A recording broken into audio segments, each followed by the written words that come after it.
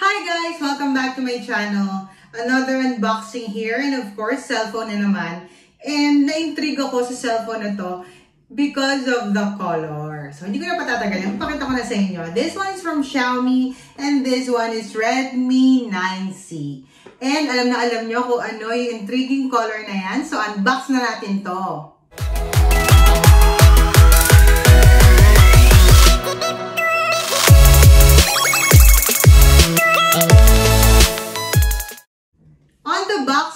Itself, makikita nyo yung sinasabi kong color na nagustuhan ko. So, ang mga available colors for this phone is blue, gray, and of course, orange. Ang ganda kasi nung picture niya sa Facebook. So, sabi ko, gusto kong makita in actual kung maganda ba talaga yung orange phone na to.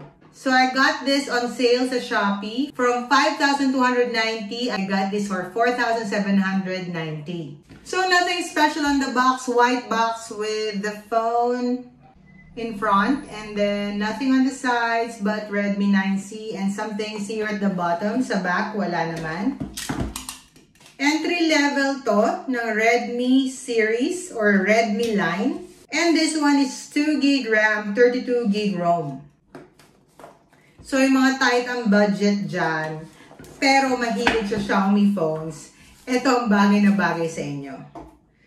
Ooh, intriguing talaga oh, di ba? So, dito muna tayo sa box. We have here the ejector pin. No case. We only have some manuals and some booklet here. The rest is adapter and cable. So, wala ring earphones. Yes. Walang earphones. Ang kanyang cable ay micro USB pa.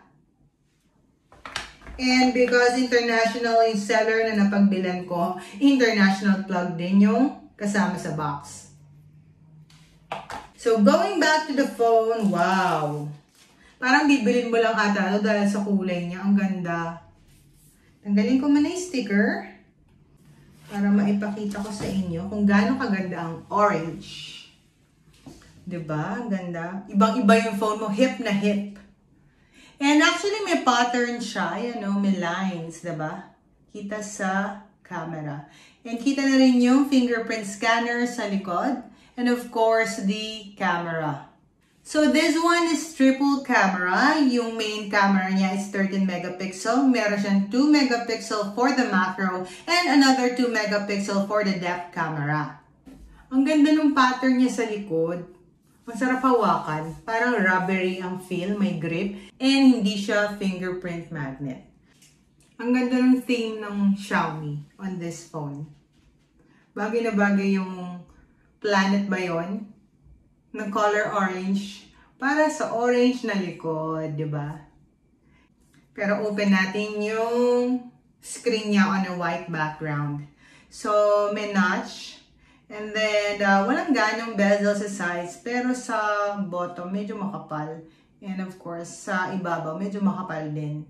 Ang ganyang screen size is 6.53 inches. Dot drop display ang tawag nila sa notch na yan. At yung camera naman na yan ay 5 megapixel. Isa sa magandang feature nitong phone na to, bukod sa kulay na gustong gusto ko, ay yung kanyang battery capacity. Although kasi na entry level siya, ang kanyang battery capacity is 5,000 mAh. And it can support up to 10 watts charging.